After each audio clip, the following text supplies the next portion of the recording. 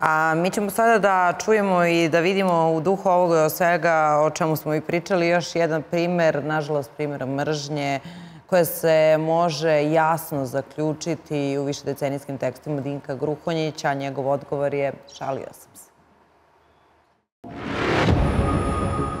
Odgovor Dinka Šakića, pardon, Gruhonjića, bio je šalio sam se. Ne, Dinko, nisi se ti šalio. Ne šališ se ti odavno. Ti si deo ekipe koja iz Srbije namenski afirmiše i gura priču o genocidu. A sada da vidimo čije si deo ekipe. Ispod radara Srbije i pravoslavlja prolaze ovakvi kao Gruhonjići. Mnogo je zapaćenih i zamaskiranih Gruhonjića i Šakića među nama, koji kao spavajuće ćelije samo čekaju da budu aktivirane. To je projekat koji odavno traje da srpsku decu vaspitavaju oni koji se osjećaju kao šakići, najgori koljači Srba u Jasenovcu. Možda se ne treba plašiti Dinka lično, već i onih koji mu pišu pisma podrške i mase koja ga podržava. Ali svi su oni deo iste antisrpske mreže. Dobro plaćene za antisrpski posao – Podsećamo i napominjemo, ako ste se, dragi gledaoci, tek sad uključili. Dinko Gruhonjić sa pozicije muslimansko-bošnjačkog ekstremizma godinama seje i širi ekstremnu mržnju prema Srbima iz Bosne i Hercegovine i ostalima, kako ih on naziva dođošima u Vojvodini. Da li igra na kartu žrtve? Igra. Ovaj bes mu odgovara. Ovo smatra svojom pobedom. A ovo je njegovo medijsko-sektaško carstvo – Na svom portalu Autonomija više od deceniju neumorno objašnjava kakvo su Srbi zlo, često uz ogromnu količinu laži i izvrtanja istorijskih činjenica. Mudro pronađe kao nešto što se opravdano može kritikovati. To preuveliča, izvrne i čitave tekstove zamaskira tobožnjim antifašizmom, začini ostrašćenim rečenicama i zaključi da je srpsko društvo moralno degenerisano i da su Srbi esencija zla – I pre svih video snimaka sa antisrpskih festivala koje gledamo poslednjih meseci, Gruhonjićevo pero je pisalo po hrvatskim, bosanskim i crnogorskim medijima. Njegov uticaj nije sveden samo na šačicu vojvođanskih autonomaša. Gruhonjić je godinama i decenijama najveći sejač mržnje u regionu. Dakle, da zaključimo i još malo razjasnimo poreklo mržnje i tu ekipu koja želi da obeleži srpski narod kao genocidan. Gruhonjićev portal se zove Autonomija. Urednik portala je Nedim Sejdinović, koji je medijski pokrovitelj antisrpske tribine u Dubrovniku, svima nama dobro poznate. Sa istim tim Nedimom, Gruhonjić je stigao u Novi Sad iz Tuzle tokom ratne 92. godine. Tako da, Dinko, nisi se ti šalio. U šali opasnosti nema, ali u govorima i senju mržnje i tekako ima. Sankcije za ovakav govor mržnje morale bi da postoje – Za profesorskom katedrom ne sme da sedi osoba koja piše tekstove o srpskoj deci kao o budućim srpskim koljačima koje jedva čekaju da završe posao svojih očeva.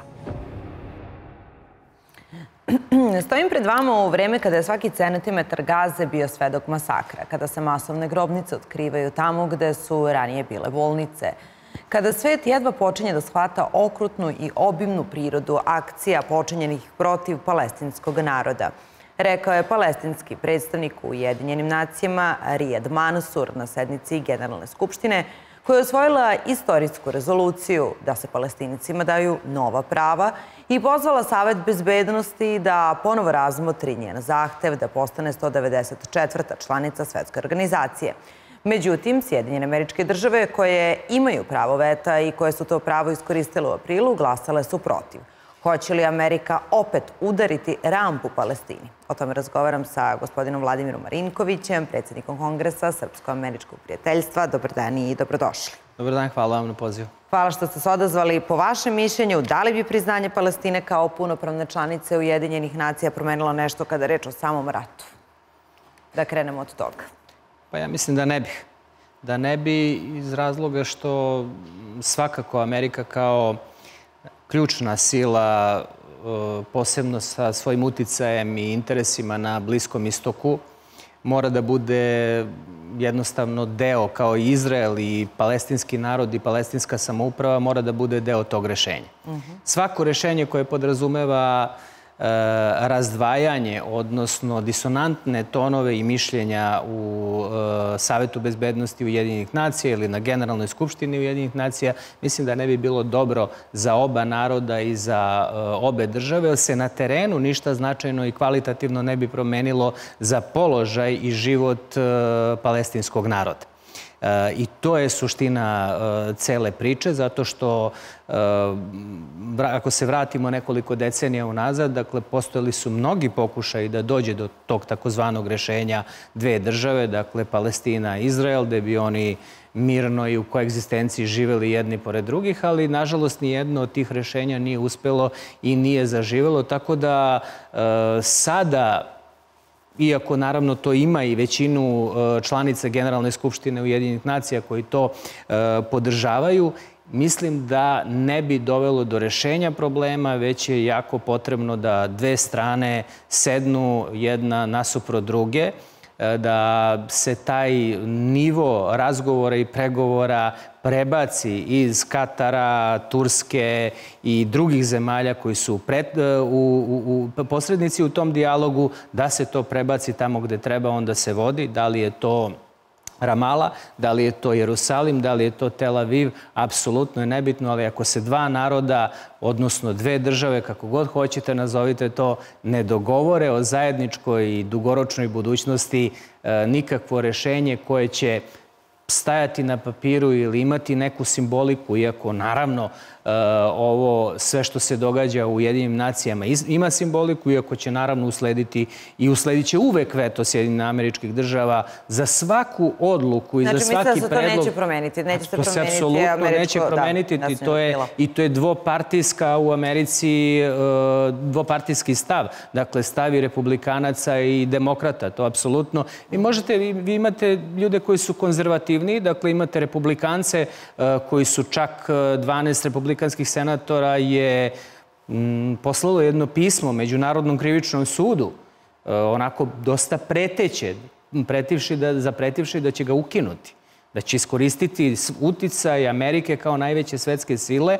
ako u kojem slučaju bude se optužio Izrael i izraelski zvaničnici za e, genocid, za šta je već e, pokrenuta tužba od e, Južnoafričke republike ili za druge ratne zločine koji su potencijalno, opet kažem, e, počinjeni na teritoriji, na teritoriji Izraela. Tako da ta podrška Amerike je nesumnjiva i ona sigurno, iako postoje disonantni tonovi u, i u samom Izraelu po pitanju izraelskog delovanja i rešavanja ovog konflikta i problema, tako postoje naravno u Americi Americi, ali ta bezrezervna podrška Izraelu koju možemo da vidimo u novcu, u naoružanju, u političkoj podršci, pa na kraju krajeva i u međunarodnoj areni, ona apsolutno neće izostati. E, ako pričamo o tome kako se glasalo i na koji način, evo da kažem, e, da je bilo 143 glasa za, 9 protiv, 25 zemalja uzdržano protiv, dakle osim Amerike, Izrael, Argentina, Češka, Mađarska,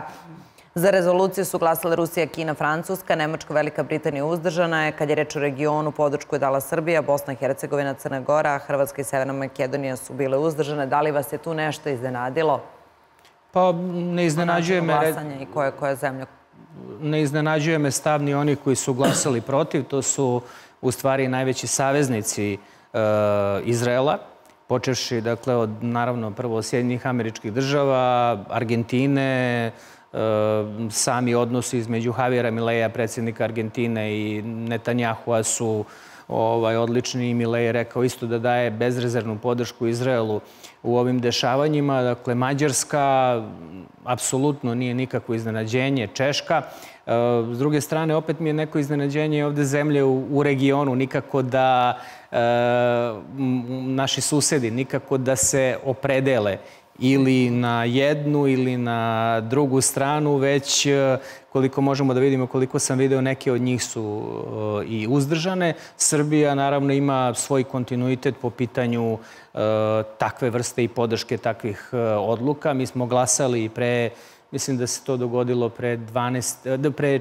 14 ili 15 godina za e, davanje statusa posmatrača u jedinim nacijama palestinskoj samoupravi, tako da je bilo logično i zbog naših e, dobrih odnosa da podržimo i ovu, e, ovu rezoluciju. Samo opet kažem, pitanje je koliko će ta rezolucija kvalitativno doneti dobra i da li će doneti uskoro mir i jevrejskom i palestinskom narodu. Da. E, prošle nedelje videli ste informaciju s obzirom na sve ono što se događalo i kad je reč o koptenoj operaciji Rafi, e, da su iz Bajdenove administracije rekli da će da se pauzira isporuka bombi Izraelu zbog zabrinuti će da nastave upravo ovo. E, sada spominje se da to možda rade tajno. Šta vi mislite? Da li pomažu i dalje tajno? Pa ja ne znam da li rade tajno, to, ja, ja nemam informacije o tome, ali svakako da ta podrška postoji i svakako da je činjenica da Izraelu ne manjka na oružanja i ne manjka im oružja kojim bi izveli operaciju kao i do sad e, kako su izvodili operacije, kako bi izveli tu operaciju u, e, u Rafi. Tako da to za Izrael apsolutno e, nije sporno. Pitanje je samo dakle, partnera i jednih i drugih. Da li postoji u stvari političke volje između ključnih, najvećih svetskih sila uopšte da do mira i do tog rešenja dve države e, dođe. Jer ja sam nekako ubeđen da postoji konsenzus velikih sila – da postoji konsenzus i dogovor sa regionalnim silama koje su najviše zainteresovane tamo. Tu prvenstveno mislim na Saudijsku Arabiju, Iran, dakle i zemlje koje su životno e, i na svaki drugi način zainteresovane za rešenje tog problema. Ja mislim da bi seli za sto i da bi počeli da se dogovaraju. Ovako imamo sve više i više novca koji se upumpava u taj rat sve više i više naoružanja i naravno jedan vrlo tvrd stav Netanjahua i njegove vlade o tome da će izvesti operaciju Rafi i da je njihov ključni vojni cilj da jednostavno Hamas e, nestane i da bude potpuno poražen, odnosno uništen. S jedne strane imate A kako na njega utiče, izvinite što vas prekidam, upravo ovo, kada, kada je ovakav, recimo, komentar od strane predsjednika Amerika, odnosno na njegove administracije i govorim pod tim, uh, kad kažem na njega, mislim na Netanjahua, uh, da li i u kojoj meri to utiče na njegove odluke i upravo na to da li će da nastavlja u tom pravcu ili neće da nastavlja? Znate šta, on je u vrlo teškoj uh, situaciji, s obzirom da on u vladi ima desničarske partije, i lidere koji uh, imaju jedan dosta velik uh, udeo kolača u vlasti u procesu donošenja odluka. Uh, od ministra unutrašnjih poslova Bengvira, Bezalala Smotriča, dakle, radikalnih desničara koji su za još radikalniji pristup rešenju palestinskog e, problema i koji apsolutno nisu ni za kakve pregovore, nisu za dogovore, a kamoli da im, da im pomenete rešenje o dve države. S druge strane, vrlo jak pritisak same opozicije, koja je vrlo snažna u Izraelu, podsjetit ću vas, izraelska vlada nijedna nema, nije imala u proteklih nekoliko decenija da kažete neku komotnu većinu. Uvek je to jedan ili dva poslanika u Knesetu razlike, Tako da je tu ogroman opozicija je snažna, dakle imate partiju Jajra Lapida, koji je politički najsnažniji opozicionar, koji nije pristao da tu uđe u tu takozvanu vladu nacionalnog jedinstva ili spasa u koje je ušao Benny Gantz, koji je bio ministar e, odbrane e, svojevremeno izraelskoj e, vladi.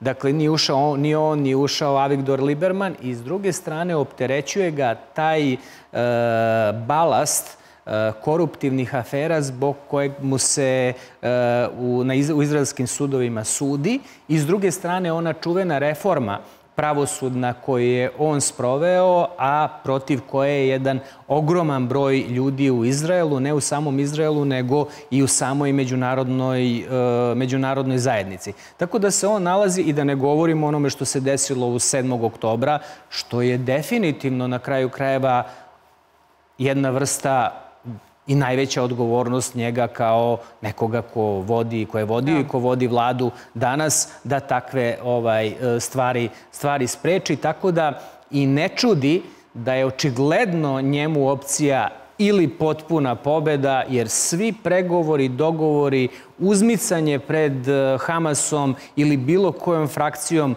palestinaca bi bio za njega svakako poraz i vodilo bi ga dalje u političke poraze, s tim što ja mislim da posle svega ovoga vrlo teško da on može politički da preživi realno.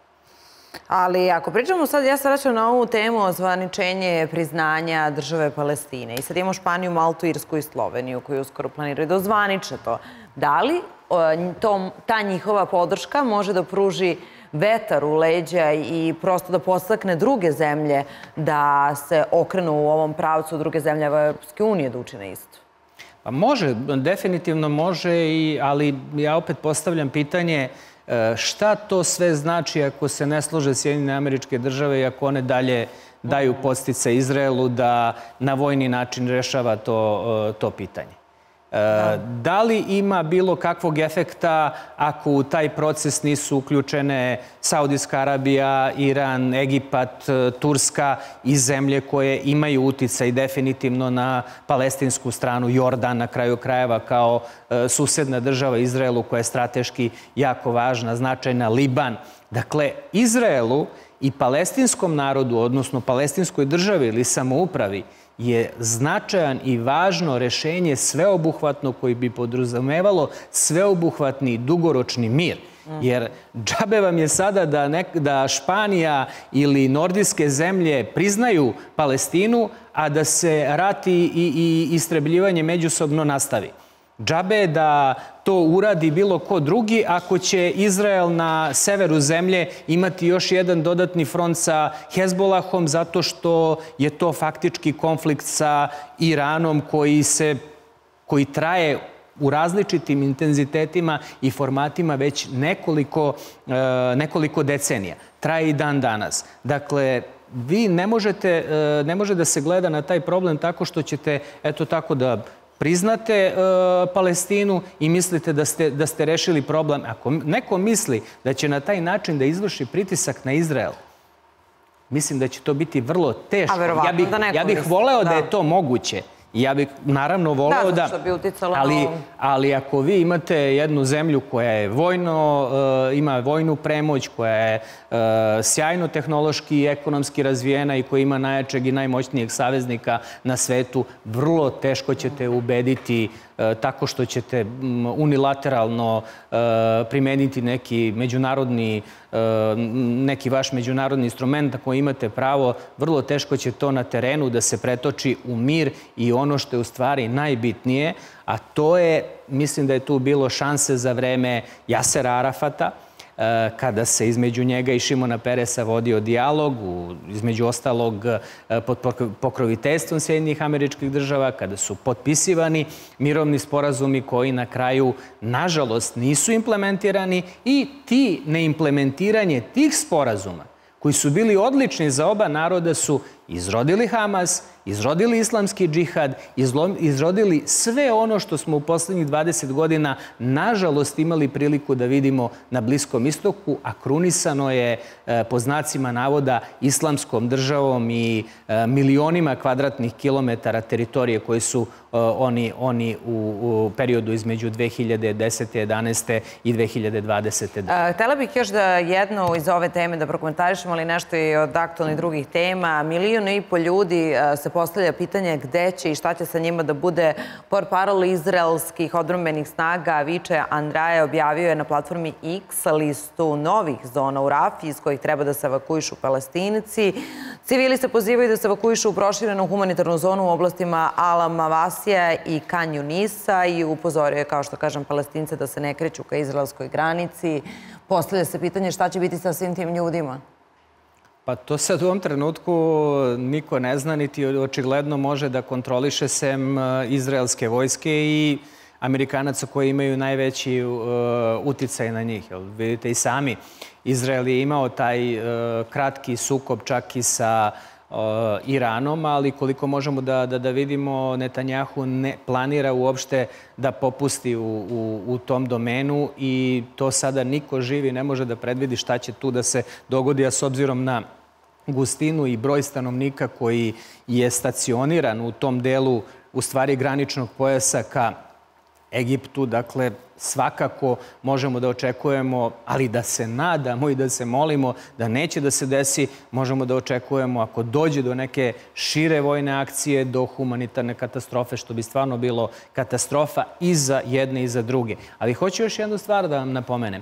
2020. godine je posle potpisivanja Avramovih sporazuma između Izraela, Ujedinjih Arabskih Emirata, Bahreina, Maroka, Sudana i najave da će se da ima šanse da se uspostave bilateralni odnosi između Izraela i Saudijske Arabije. E, Trumpova administracija je predložila takozvani e, istorijski sporazum koji je ponuđen izraelskoj strani i Mahmudu Abbasu, koji je Abbas bukvalno u roku od 24 sata, dakle, e, lider palestinaca koji žive na zapadnoj obali, s obzirom da gledalci znaju da e, Mahmud Abbas je predsednik ovog dela e, palestinske samouprave koja je na zapadnoj obali, a Hamas faktički je kontrolisao ili, ajde da kažete, politički na svaki drugi način vojno kontroliše gazu. E, tim sporazumom, koliko god on imao svoje manjkavosti, on je podrazumevao fizičko spajanje, dakle, zapadne obale kako se to kaže, i gaze. 50 e, milijardi dolara američke pomoći u narednih 10 godina bespovratne. E, naravno, priznavanje između države Izrael i Palestine. Dakle, i to je bilo rešenje od dve države, naravno zbog određenih detalja koje vi uvek možete da nađete u tim predlozima. Mahmud Abbas i palestinska samouprava su to odbili evo pogledajte šta se uvek naravno, nažalost, slabijoj strani dogodi kada ne insistira na dijalogu i na sporazumu. Svaki sporazum, koliko god je manjkav, koliko god imali kritike e, na, na, ka njemu, je bolji od ovoga što se sad dešava i što vrlo teško da će se izaći iz ovog cirkulu sviciozusa koji tamo postoji, dakle ratno kovitlaca i dešavanja koji, koji, koji sad egzistiraju na Bliskom istoku. Posledno još nekoliko minuta za razgovor rekla sam hoću da prokomentarišemo najnovije vesti, to je da je Šojgu imenovan da, i da se sklonimo dakle, na trenutak iz ove teme, da je imenovan za sekretara Saveta bezbednosti Ruske federacije da je predsednik Putin predložio da se dosadašnji prvi potpredsednik ruske vlade Andrej Belousov imenuje za ministra odbrane, to je naveo Telegram, kanal Saveta Federacije. E, šta nam donosi ova vest koja je ovako poprilično odjeknula i šta menja ako govorimo o tome na koji način i šta će da se deša u narodnom periodu? Pa mislim da kvalitativno neće ništa ozbiljno doneti ta promena, s obzirom da se radi o važnoj do duše, ali jednoj od vrlo redkih promena koje su se desile uh, u okviru... Da, prvo ste spekulisali da li će Šojgu da bude otpisan ili neće, ali onda su brže bolje mediji objavili i preneli da je dobio novu dužnost, dakle da nije otpisan. Pa- Tako da je izazvala pažnju veliku. Jeste, definitivno. I se sećate onog vremena 90. godina, pa kad uh, kod nas Pa kad e, je Milošević smenjivao načelnike generalštaba, oni uvek postanu ovaj, e, savjetnici. Mm -hmm. Ili u vladi, ili saveznog premijera, ili tako nešto. Tako da mi se, meni liči to na e, tu vrstu e, promene. E, ali svakako da... E, Kažu da je Rusija izazvala potres, da kako pa kažemo. Jeste sigurno potres. Znate šta, Šojgu je na, na toj funkciji, na toj poziciji na ključnim pozicijama po pitanju bezbednosti Ruske federacije od 2012. godine. To je 12 godina i sigurno da je vrlo važan, uticajan, ali e, na kraju krajeva sad možete to da uporedite i sa Lavrovim, Lavrov je isto tako mm, ogroman period, e, baš veliki period na čelu Ministarstva spoljnih poslova. Ovo ne može da se sada, baš zbog tih stvari, kao što i Mišustin bio u prethodnom mandatu e, predsednik vlade, mm -hmm. ne može da se podvede pod to da sad vi osvežavate vladu i dovodite novu krv i nove kadrove, već je ovo očigledno e, potez na koji je predsednik Putin bio prosto nateran da ga uradi zbog na kraju krajeva i loših rezultata i neispunjavanja e, ciljeva onoga što bi trebalo ta specijalna operacija ili agresija, kako već god hoćete da je nazovete, da, da kao rezultat, a definitivno nije dala svoj, rezu, svoj rezultat koji su Rusi imali i predsjednik Putin na početku te vojne akcije. Evo, bave se mediji time ko je tačno Andrej Belousov, Šoujigov naslednik. Kažu da ga mnogi pamte kao bliskog saradnika Medvedeva. Prvi potpredsednik vlade Ruske federacije koje je Putin predložio za novog ministra odbrane, rođen je 17. marta 59. godine. Piše sada ovde šta je završio, koji fakultet, kada je diplomirao, čime se bavio i koje su mu, da tako kažemo, i specijalnosti i oblasti, a, koja, kakva mu je radna biografija i šta je sve do ove funkcije obavljao kada govorimo o dužnostima, tako da vraćamo se na temu toga da je apsolutno ovako žiži ova tema pa i ova vest. Pa nije sporno da on ima impresivnu biografiju i naravno, verovatno neće ni biti ni loše da e, svo to znanje koje ima i funkcije koje je obavljao i iskustvo primeni sad na, u stvari, najznačajnijoj funkciji posle predsednika Ruske federacije, to je e, na funkciji ministra, e, ministra odbrane. Mm -hmm. to, je, to je suština. I za kraj našeg razgovora da prokomentarišemo vest od sinoća, to je da je u ukrajinskom granatiranju Belgoroda gde se urušio ulaz jedne više spratnice. Trenutna informacija koju imamo jeste da je poginulo, odnosno da su izvučena tela ukupno 19 osoba, ali dalje se pretražuje veliki broj preko 20 njih koji su povređeni. Dobro, nažalost, e, takvih e, akcija će biti sve više i više i nije ništa neočekivano s obzirom da, evo, opet se sada pokreće e, posle nekoliko meseci, ajde da kažem, statičnijeg perioda, Sada je opet pokrenuta ta ruska ofanziva na, i, i sveobuhvatni napadi na region, na Harkov i na region oko Harkova. S druge strane, Ukrajinci primenjuju taj model odmazde i sve ovo što se desilo ovaj, juče u Belgorodu je rezultat svega toga. Ono što je zaključak je da dakle da odmora nema i da nas, evo kako sada dolazi lepo vreme i u Ukrajini i u Ruskoj federaciji čeka očigledno još jedno žestoko leto na uh, ukrajinskom ratištu. Hvala najlepše što ste bili. Nažalost je tako, a niko se, niko iz međunarodne zajednice se apsolutno niti javlja, niti neko govori, niti oglašava, niti govori o, o, o, o dijalogu, o nekom miru, o prekidu vatre. Dakle, svi su e, posvećeni proizvodnji naoružanja, prodaji naoružanja i e, kako će e, do kraja. Dakle, ta strategija i jedne i druge strane, pritom ovde mislim na Rusku federaciju i mislim na, na NATO i, i, i ključne zemlje koje pomažu Ukrajini u ovom ratu, je do kraja poraziti e, protivnika, što mislim da je nerealan cilj, ali svakako cilj koji, čija implementacija debelo košta ceo sveta, posebno male države, među kojima smo i mi. Vidite sami koliko je sve ovo i koliko košta samu Evropu. Evropa je prosto iz dana u dan se svodi na, na, na